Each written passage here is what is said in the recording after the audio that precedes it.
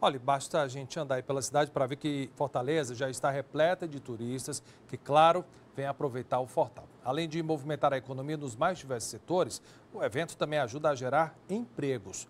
Profissionais de uma associação de costureiras lá do bairro Vicente Pinzon estão aproveitando o período para colocar em prática o que fazem de melhor. Quem diz que não pode ter glamour na hora de aproveitar o Fortal?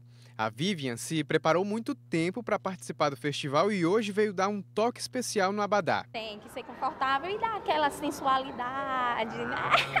Tanta dieta nessa vida, tem que botar um corpinho também de, ó, fiz aqui, tô bem legal. A customização do Abadá está acontecendo no Shopping Rio Mar, onde a Associação Arte e Costura do Vicente Pinzon trabalha para deixar os folhões com mais estilo. Só que o bonito mesmo aqui é a história de quem, nos mínimos detalhes, literalmente faz acontecer a coisa. São essas costureiras que neste período têm trabalho de sobra. Foi uma oportunidade assim boa, assim, porque eu acho que a gente nunca sonhava em, em trabalhar no shopping, né? Porque sempre a gente trabalhou terminais, né? Feira do, do, as feiras na beira-mar, né? A gente vende em casa, a gente faz alguns brindes, mas no shopping, assim, foi uma experiência muito rica, né?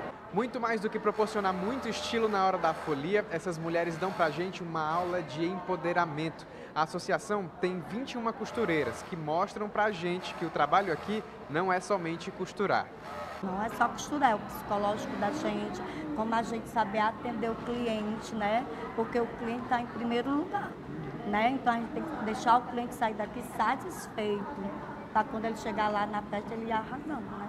A customização varia entre 15 a 30 reais, mas o preço ainda pode subir mais um pouco de acordo com os acessórios que o cliente acrescentar. Para entender bem sobre atendimento ao cliente e até dicas de empreendedorismo, as profissionais passaram por uma capacitação. Neste primeiro semestre, elas fizeram cursos como empreendedorismo, precificação, atendimento, hospitalidade, para estarem hoje capacitadas, estar recebendo o público e podendo atender um, um serviço de excelência.